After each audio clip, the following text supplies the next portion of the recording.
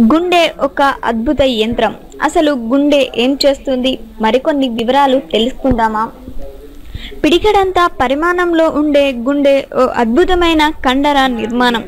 ఇది నిరంతరాయంగా మన శరీరంలోని అణువణువుకు రక్తాన్ని సరఫరా చేస్తుండే ఓ శక్తివంతమైన పంపింగ్ స్టేషన్ లాంటిది.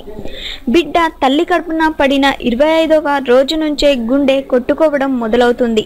అక్కడి నుంచి అది నిర్విరామంగా నిరంతరాయంగా జీవితాంతం పనిచేస్తూనే ఉంటుంది. గుండె దాదాపుగా రోజుకు లక్ష సార్లు ఏడాదికి మూడు కోట్ల యాభై లక్షల సార్లు కొట్టుకుంటుంది. గుండె సాధారణంగా నిమిషానికి డెబ్బై రెండు సార్లు కొట్టుకుంటుంది. చిన్నపిల్లలు అయితే ఇంకా ఎక్కువ సార్లు కొట్టుకుంటుంది. నిద్రపోయేటప్పుడు మాత్రం దాదాపు యాభై ఐదు సార్లు మాత్రమే కొట్టుకుంటుంది.